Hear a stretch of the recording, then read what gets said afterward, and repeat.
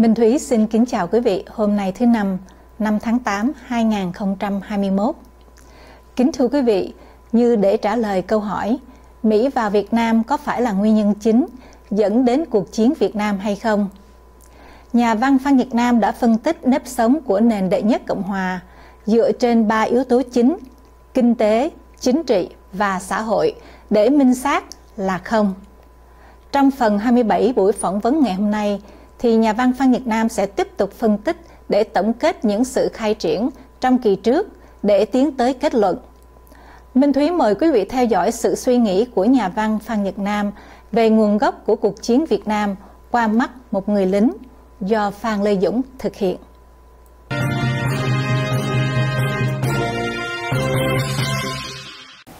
Thành tựu không thể nào bảo được là có Mỹ và chiến tranh. Mà chiến tranh đó là xin mở một đơn. Chiến tranh đó là từ ngoài Bắc đem vô. Chứ không phải là từ làm gì có cái mặt trận giải phóng miền Nam với những người miền Nam yêu nước nổi dậy chống bộ đi diệm đúng, có cái vấn đề caravan.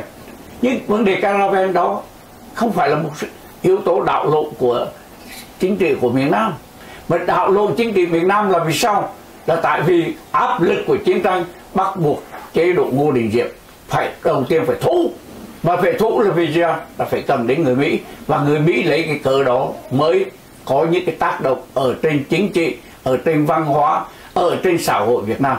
Nhưng mà hỏi lại cái nói chuyện cả mấy ngày hôm nay. Tôi không phải là một uh, một cái nhân sự cao cấp của đệ nhất của nước Đề Hòa. Tôi chỉ là một anh lính tác chiến. Không có một cái ân huệ nào đặc biệt riêng của chế độ cộng hòa nhưng phải nói thật bây giờ xếp hết tất cả những người thuộc thế hệ chúng tôi giữa chế độ miền bắc và chế độ miền nam giữa chế độ đệ nhất cộng hòa giữa chế độ đệ nhị cộng hòa qua đến chế độ cộng hòa xã hội chủ nghĩa việt nam từ 4 nga 30 tháng 4 75 đến như này thì chế độ nào tốt nhất? Thưa vẫn là chế độ Việt Nam Cộng Hòa đệ nhất Cộng Hòa từ năm 1954 đến 1963 là tốt lành nhất. Chúng tôi có thể làm gì? Chúng ta có thể đi lên Đà Lạt lúc 2 giờ sáng. Chúng tôi chỉ có đậu trung học thôi, có thể đi dạy tiểu học cấp tốc. Chúng tôi có đậu tú tài, chúng tôi có thể đi dạy trung học đệ nhất cấp. Một cái chế độ rất là tốt lành. Và bản thân, và thưa với anh Mạnh Dũng, và thưa với quý vị nghe, có một xã hội nào mà chỉ có lính tình nguyện. Lính nhảy dù là lính tình nguyện. Lính thủy quân lục chiến là lính tình nguyện. Lính siêu đồng một là lính tình nguyện. Lính biệt động quân là lính tình nguyện. Có một xã hội nào có những cái một đội quân lính tình nguyện như vậy? Nói ra một cách uh, có vẻ chuyên môn. Nếu không có chiến tranh Việt Nam thì làm gì có những cái súng XM16 vì cái súng mà khi mà người ta có cái ám danh hiệu là XM đó là experience là dùng để thí nghiệm. Nếu không có chiến tranh Việt Nam thì cái đống súng Garang e M1 cạc pin e M2 tiêu thụ ở đâu? Muốn hủy một vũ khí nguyên tử, đâu phải đào cái hố rồi vất cái xuống. Không có tiền để hủy. Thành nếu bây giờ cái đống vũ khí của đệ nhị thế chiến để lại, đem đi đâu mà tiêu thụ bây giờ? Đem vào chiến tranh Việt Nam. Mới có cái Garang M2 cạc pin tôm sông tôm sông là một cái loại sứ tệ hại nhất. Nó bắn chỉ khoảng mười mấy thước. Vì nó không có đường khứ tuyến, bắn rất trật thì cái đống vũ khí đó, trung liên ba lại đi vất xuống biển. Công đâu mà đi vất xuống biển. Cho nên có cái chiến trường rồi những cái thùng gỗ, rồi cái ờ, thuốc bơm ờ, chân, Johnson Johnson, thuốc xịt nét. Những cái thứ đó không có chiến tranh Việt Nam, không tính vào trong quân viện thì tính vào đâu? Thì tất cả đều tính vào quân viện và đưa vào chiến trường Việt Nam để tiêu thụ. Thành thứ hơi chuyên môn và có vẻ là hơi bi quan hoặc là có vẻ hơi ừ, tàn nhẫn, nhưng mà thực xưa với anh anh Dũng và thưa với quý vị. Thưa anh, cái mà anh nói rất là đúng, tức là cái chuyện mà nhiều người rất là công nhận, thì thứ nhất là cái chuyện là phong cách thanh liêm của nhiễm và có thể nói cái chủ quyền Việt Nam với đệ nhất thì không ai chỉ trích những vấn đề đó cả nhưng mà in the jaw history chắc là anh cũng đọc vâng. những chapter nó viết về trước thời ông Diệm trục đổ là một cái đối với ông Diệm là chuyện tất nhiên vâng. bởi vì theo ông là thối nát vào gia đình chị và không không không có không có để cho những thành phần quốc gia khác có thể tham dự à, vào vâng. chính quyền đó là đó là theo ông nhiễm vâng. cho nên cái yếu tố đó là yếu tố chính để mà mỹ nó vào việt nam là bởi vì mình không giữ được mình. Thế nhưng mà thưa thì tại sao không nghĩ rằng người mỹ người ta cũng có cũng có đặt tay vào ở trong cái cái vấn đề đó? Vì như anh về vấn đề quốc gia. Vâng. Chúng tôi là gia đình mình người miền trung. Gia đình tôi hội nội ngoại ngoại là như ông ngô đình thản ông cậu hai của tôi là một trong những cái người đã tập lên cái mặt trận. Với nguyễn đôn Duyến của gì đó ở miền trung tập nên cái mặt trận gọi là mặt trận quốc dân từ ngoài miền trung đưa vô. Và trong khi đó có bên đại việt ở miền trung mà đại việt là như ông thái linh chẳng hạn. À, và như là ông Bác Hai Kinh tức là bố của ông tướng Phan Hoài Hiệp tức là ờ, sứ ủy của miền Trung. Thì tất đó tất cả những cái nhân sự đó là chuyện trong nhà tôi nghe các ông nói chuyện. Vâng. thì ờ, đã tạo nên cái lực lượng quốc dân và yểm trợ cho thủ tướng Ngô Đình Diệm.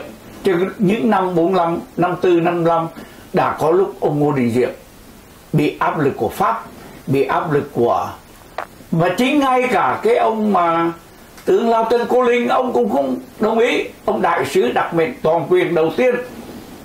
Vì cháu ông lao tân cô linh là cô elena. Cô linh là rất thân với tôi. Là người mỹ lúc đó lao tân cô linh cũng không muốn ông diệt nhưng mà chính các lực lượng quốc gia miền trung đã bắt buộc nhất là ông thái linh cái ông mà cầm súng côn mà để áp chế với lại ông Vân ông Nguyễn Văn Vĩ à. đã bắt buộc ông phải ở lại. Nhưng mà đến sau khi ông chế độ đệ nhất cộng hòa được uh, được uh, vững vàng. vững vàng thì hệ thống chính trị ở miền Trung lại bị uh, tấn công. Và ông giáo sư của chúng tôi là ông Trần Điên phải bị đi ra tòa. Ừ. rồi có cái vụ mà ba lòng của của Đại Việt. Dạ. và ngay rõ ràng nhất là trong nhà tôi là trở lại ông Phan Hoài Hiệp. Ông mang đại úy từ 54 cho đến 63 mình qua đảo chính ông mới được lên thiếu tá. Rồi ông một ông phải ở một tuần ông phải đi trình diện từ ở an ninh quân đội vì ông ở à, uh, ninh cửu long với ông cậu họ của tôi là ông uh, ông kịch sĩ vũ đức duy. Hai ông chia cái phòng ở biên ninh cửu long trong 28 274 phòng số 14B tại vì sao ông nghiệp ở đó? Vì ông chỉ có được nửa lương đó mà ông là một, một sĩ quan tốt nghiệp của xuống Nguyên của đấy. Thế nhưng mà chỉ được hưởng nửa lương đại úy và một tuần phải đi bộ từ Binh Ninh Cửu Long về an ninh quân đội để trình diện. Vâng sự đàn áp đó có. Sự đàn áp về Đại Việt sự đàn áp về các sĩ quan mà có dính líu với với Pháp. Vì ví dụ như vậy. Nhưng mà thưa với lại anh Dũng và thưa quý vị tôi không phải là người của đệ nhất cộng hòa vì tôi còn nhỏ chưa đi lính vâng. tôi cũng phải là người có ân huệ nhận một cái ân huệ gì lớn nhưng mà từ đó thì tôi nghĩ nghĩ rằng tất cả cái biến động đó những hỗn loạn đó những cái va chạm đó nó ở trong một cái mức độ nào đó thôi. Chứ không phải là một mức độ phải đưa đến cái kết quả của 30 tháng 4 75 nhưng mà phải nói nếu không có 30 tháng 4 75 thì cũng có 30 tháng 4 6 65 à, 65 nó cũng có 30 tháng 4 nếu buộc lắm 56 là 6 à, vâng và nó là có có quay quyền, nó là có 30 tháng 4 56 thành thử tất cả cái vấn đề này, cái vấn đề của bi kịch Việt Nam là gì? Là từ chiến tranh. Mà chiến tranh này là cho từ miền Bắc. Mà miền Bắc thật ra cũng không phải là của Hồ Chí Minh nữa. Thật ra không phải. Vì ngày à, 1 tháng 10 năm 1949 khi thành lập Cộng hòa Nhân dân Trung Quốc, thì Mao Trạch Đông đã nói rằng Biển Đông chỉ yên chứ không phải đợi Hoàng Sa Trường Sa năm 74 nữa. Biển Đông chỉ yên châu Á chỉ yên chỉ có khi nào dưới tay của Trung Quốc chữ Trung Quốc là của Bắc Kinh chẳng phải chữ của tôi. Thành thử vấn đề này mà cũng phải của Mao Trạch Đông nữa. Vấn đề này là vấn đề nó có từ Trung Nguyên Chương nó có từ Hán Vũ Đế nó có từ từ đời nhà Minh nhà Thanh Càng Long Càng Long Du Giang Nam. Ở Giang Nam. Mà không phải Giang Nam là chỉ Giang Nam trong nghĩa tử Giang Nam này là Giang Nam luôn cả sông Hồng Hà tên tôi là Phan Nhật Nam là miền là miền Nam. Miền Nam này không phải là miền Nam của Bắc Việt mà miền Nam của sông Dương Tử. Dạ vâng thưa cái này nó nằm trong lịch sử dài. Chúng ta hai con người của thế kỷ 21 làm sao nói được? Tôi với anh có quyền mà không có khả năng để thay đổi gì hết. Vâng. Vâng, vâng. xin cảm ơn anh.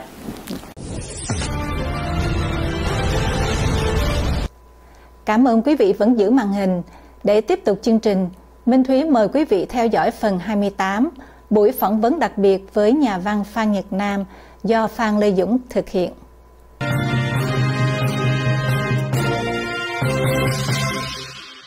Thưa anh, bây giờ mình đi về một hướng hơi khác, đi về tác phẩm của anh đi.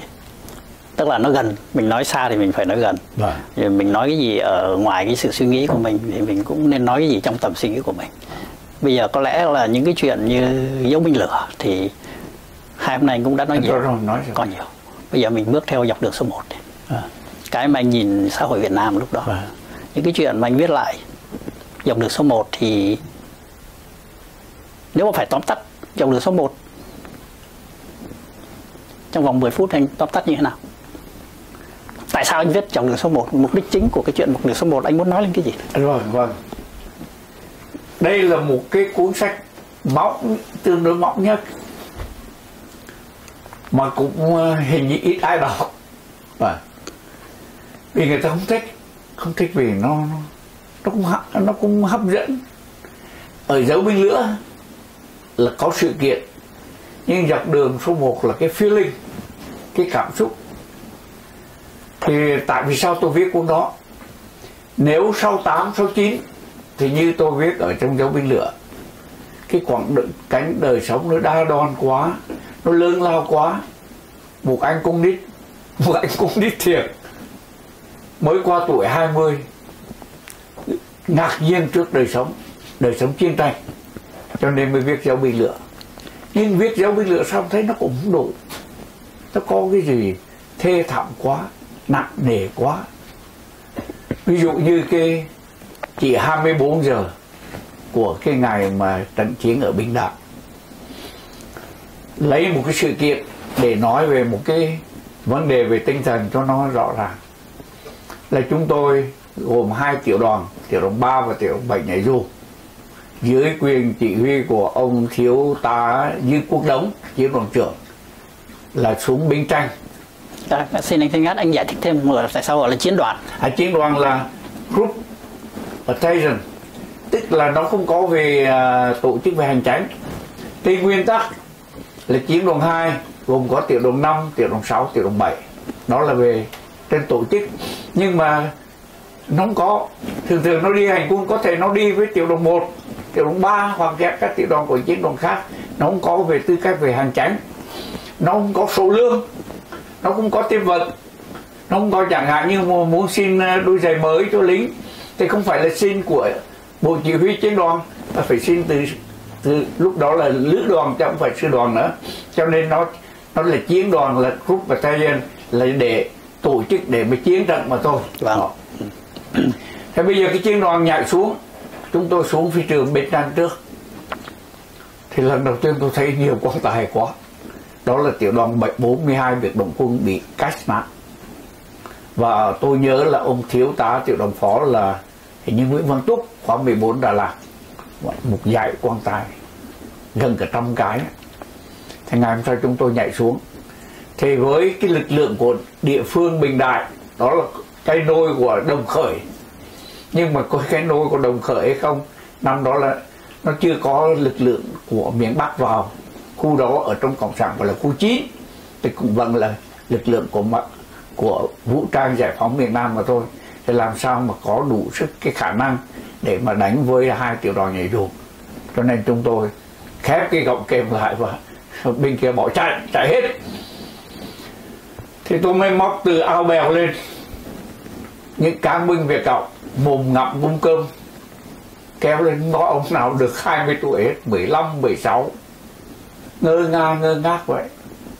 Thì tôi mới hỏi ôi chẳng lẽ chiến tranh đây ở đây? Chiến sĩ giải phóng đây rồi chiến sĩ cách mạng đây rồi kẻ thù của của chúng tôi đây vô lý quá. Cái cách vô lý đó thế rồi mày lính tôi cứ tiếp tục ở dưới đó. Rồi đến ngày tiếp tục cuộc uh, quân thì xuống đến cái hầm ném tiêu lợn khoai xuống hai ông bà già đi lên ông bà già đi lên chắp tay đứng vải bốn phương. Trời đất ơi dân chúng ở đây kẻ thù đấy sao? Rồi vào đến cái nhà thờ bình đại tượng thiên thần nó rất lung tung hết rồi tôi cúi xuống. Thì tôi thấy ở dưới bàn thờ đó có một cái gia đình, hai người giữ nhà thờ, hai vợ chồng đó và ba người con. Trong đó người con gái khoảng 15 16 tuổi, mặc tinh anh đẹp như ngọc và cái áo màu tím còn phơi ở ngoài ngoài hàng rào nghĩa là khi mà phơi cái áo còn ướt, rồi sợ quá chạy vào đó, thì khi mà chạy vào đó thì cũng biết chết bởi đạn phía nào? Đó. và đến cái cao độ là đi vào cái một cái nhà, con người, nhà bị cháy. Thì thấy người chị đó cũng khoảng hai mấy tuổi, chưa được có, tôi nghĩ chưa được ba mươi ngồi ngơ ngác ở giữa một đám nhà cháy. Thì tôi mới hỏi tôi nhà đang đánh nhau như vậy, sao chị ngồi đây? Thì chị đứng lên, tôi xin kể lại chuyện đó. Là chị đưa cho tôi cái lãng mây thế tôi cũng biết chị mở ra thì thấy vàng dây chuyền bông tai rồi gì vậy thì người lính của tôi mới nói lính truyền tin đi theo. Nói cái bà cái chị này điên rồi, chẳng biết gì cả thiếu ý lấy đi. Thế tôi nói đâu có được vì tôi là hướng độc sinh đâu mà đâu mà, mà đi lính đâu có phải là để lấy vàng lấy viết của người ta. Thì tôi kêu chị lui. Thế chị đưa tôi xong chị gọi chị đi. Rồi tôi kêu chị lui để tôi trả cho chị thì khi chị cầm cái đó thì chị cứ run run cái tay và chị thả cái đầu xuống. Và chị cởi cái nút áo ra. Và chị hiểu lầm.